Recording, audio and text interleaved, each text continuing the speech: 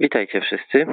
Dzisiaj chciałbym Wam zaprezentować Ursusa C4011, jakiego kiedyś miałem.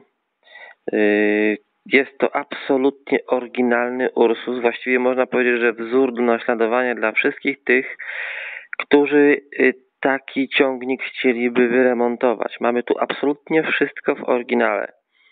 Nic nie zmieniono od samego początku.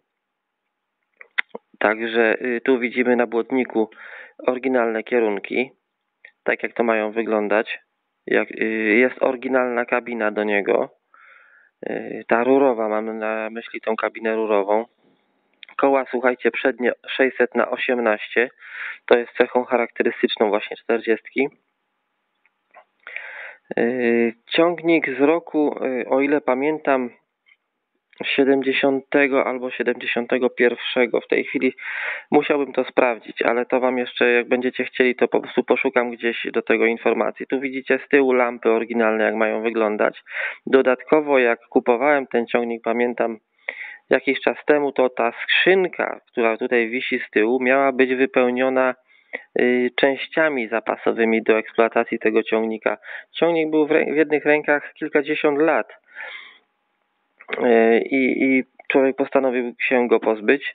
E, tu widzicie jeszcze odblaski na błotnikach, podobne jak w 325, one były przymocowane. Jedyne co zmienił ten człowiek w tym ciągniku to były błotniki. Tamte okazały się trochę pordzewiałe, a te no powiedział, że dużo gorsze. Co jeszcze tutaj? Mamy tablicę palowską, mamy y, pokrywę bezpieczników, mamy przełączniki, cały układ w oryginale.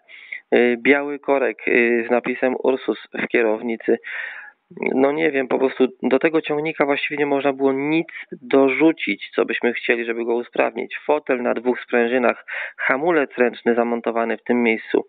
Także y, widzicie, jak to wszystko powinno wyglądać.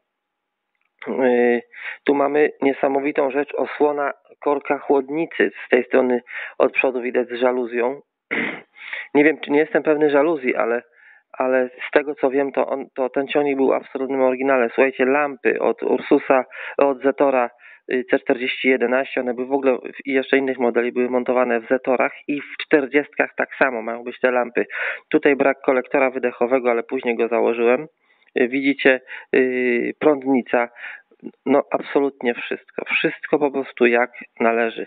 No i znaczek na maskę. Jeżeli się podobał film, subskrybuj, komentuj, zostaw łapkę w górę i czekajcie na następne materiały. Cześć!